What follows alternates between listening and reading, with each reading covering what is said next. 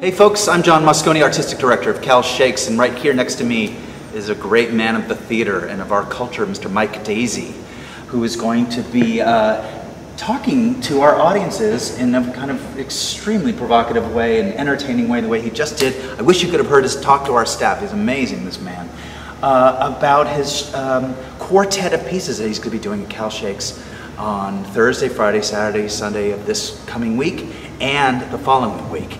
And so, Mike, what, Yes. what, why do you, why, why do you want to take on Shakespeare? Why do you want, why do you want to investigate him?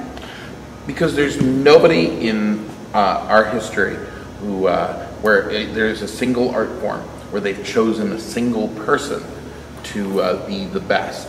You know, like that doesn't happen in painting, in sculpture, only only in the theater, and only only only with Shakespeare. And he, he fascinates me because of the way in which he becomes a religion, and that's both positive and negative. Like the way in which the mutual adoration and, uh, and, and, and uh, of Shakespeare, the way we all invest in it, people give that energy to the work, and that is actually what creates um, a discourse that allows us to talk about it. And so it really interests me that, um, that, that we've done that, and I, I think that that gives us a great platform to talk about all these different kinds of plays. And you're looking at Romeo and Juliet, Hamlet, the Scottish play. Mm-hmm. Can't really say the name, but you know what I'm talking about, folks. Macbeth, M A C B E T H, and uh, King Lear. Yes. Right? Why those plays?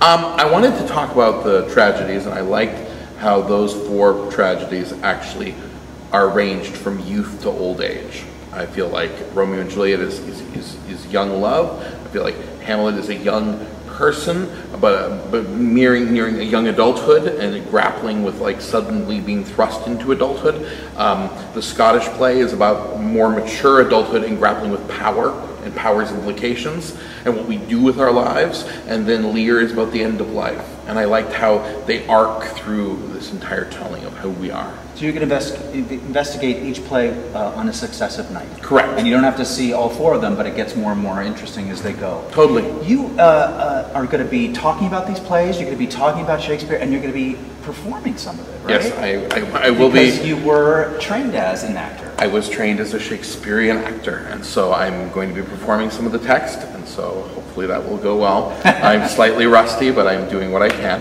Um, and I'm, um, uh, uh, but I'll be talking about it as well. So it's it's it's it's both it's both uh, uh, hearing some of the text, but then also thinking about what the text means, like in our lives and in our world. And the, what you do the night of Romeo and Juliet, which is the first night, will affect how you then tell the story around Hamlet. You kind of have ideas in your head, and you kind of feel the room, and you make it up, and you kind of you kind of have a conversation, even if you're not even not even if you're not asking a question of the audience for them to talk to you. You can hear them Oh, in some way, and that's how what shapes your performance, isn't it? That's absolutely true. Like the way in which the monologues are made is extemporaneously. The way that like this conversation is happening. The way, in fact, everyone uh, lives their lives talking and having conversations. The way stories are told is how uh, I tell stories on stage. And you know, I've done a lot of work preparing for this. But like in terms of what happens on each night, it really is um, built with the audience. It's really a conversation that happens in the space. Like their presence makes it real. I love that.